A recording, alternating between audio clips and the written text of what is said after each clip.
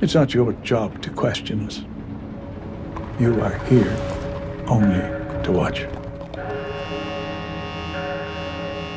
The watch is to last two weeks. We are proposing eight hour shifts. There is to be no conferring between the two of you.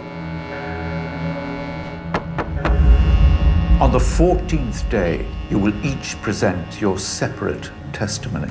May I ask, gentlemen, no one has told me what precisely is wrong with the girl. Anna O'Donnell doesn't eat. How long exactly has it been since the last time the girl ate? Four months. That's impossible. Thumbs up. And eyes wide open. Are you nervous at all? Why should I be nervous? Do you know the dangers of a prolonged fast, Anna? I don't eat sweets. I live in manna. From heaven. And how does that feel? Full. Anna is in danger. She's an actress. She's chosen. Are you feeling well in yourself, Anna? Very well, Father.